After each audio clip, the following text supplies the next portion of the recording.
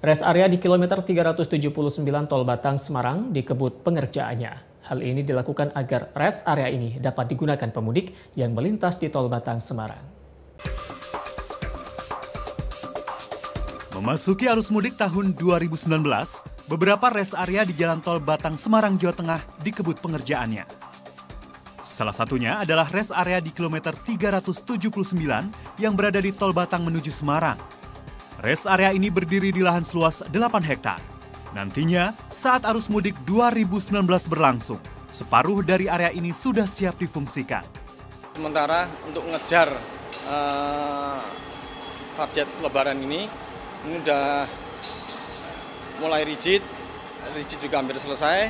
Uh, untuk wilayah belakang yang untuk akses pengisian BBM dengan apa, ke, ke Pertamina itu diusahakan lebaran ini selesai.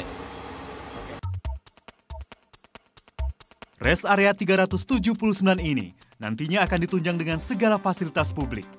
Seperti toilet, musola, pujasera, posko kesehatan, kontainer-kontainer penjual makanan, dan stasiun pengisian bahan bakar minyak. Tempat istirahat ini mampu menampung sebanyak 300 hingga 350 kendaraan yang akan beristirahat. Total akan ada dua rest area di sepanjang tol Batang menuju Semarang, yakni rest area 379 dan rest area 391. Nah, ini rest area 379 yang adanya di sepanjang jalan tol Batang Semarang.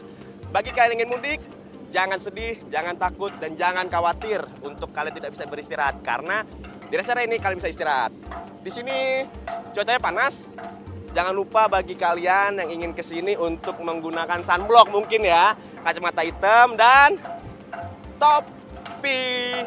Oke, Marsinus Agung, Yogi Kenanaya melaporkan untuk NET.